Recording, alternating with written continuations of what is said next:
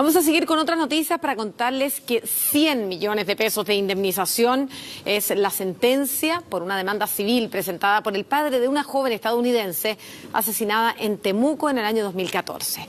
En el documento se expusieron todos los errores periciales que terminaron absolviendo al único imputado por este caso. El Estado de Chile va a tener que pagar por los graves daños que causó la PDI con sus diligencias. Erika Hagan fue asesinada el 5 de septiembre de 2014. Su cuerpo fue encontrado desnudo en la tina del departamento donde vivía, al interior del Colegio Bautista de Temuco. El único imputado por la muerte de la estadounidense fue Domingo Cofré, contra quien no se pudo probar culpabilidad.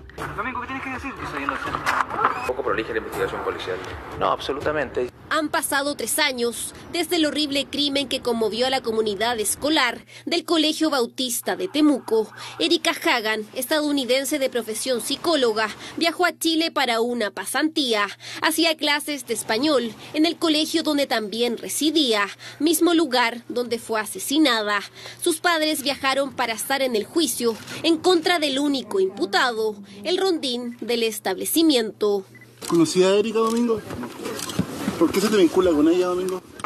Alrededor de las 7 de esa noche el consulado me notificó sobre su muerte. Quería estar ahí con mi hija para abrazarla, pero no podía. Juicio oral que evidenció una serie de errores en las pericias policiales en la escena del crimen, que finalmente desencadenaron la libertad de Domingo Cofré y el cierre del caso sin ningún culpable.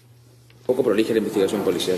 No, absolutamente. Se han probado la muerte del, del- de, de que efectivamente murió la víctima y que fue por acción de terceros, pero nada más. Chris Hagan, padre de Erika, insatisfecho con la deficiente investigación policial, decidió seguir adelante con una demanda civil en contra del Estado de Chile. El 29 de diciembre pasado, la sentencia decretó responsabilidad civil de la PDI en los daños sufridos por la familia. El Estado deberá pagar 100 millones de pesos de indemnización. El Estado sería responsable de denegación de servicio al no conseguir establecer responsables en relación con la muerte de esta chica. El padre de Erika Hagan no tuvo ninguna respuesta respecto del horroroso crimen En 136 páginas se expuso los errores que los peritos de la PDI cometieron desde el inicio. La prueba más concluyente en contra de Domingo Cofré era este atizador de fierro forjado, presentado como el arma homicida.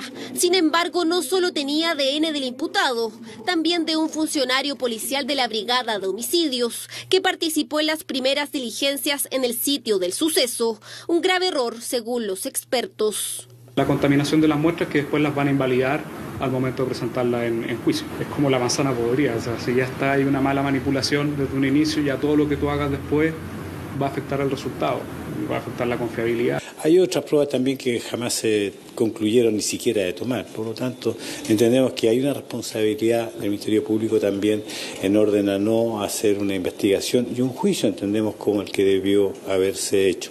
Entre las pruebas que nos hicieron, consta la de humo y hollín a los sospechosos. Tras el asesinato, se presume que el autor intentó quemar la habitación del crimen. Todos estos errores sumados lograron la absolución de quien fue el único imputado. Chris Hagan, a través de su abogado, asegura que la indemnización es el primer paso para que reabran el caso de su hija y esta vez sí se haga justicia.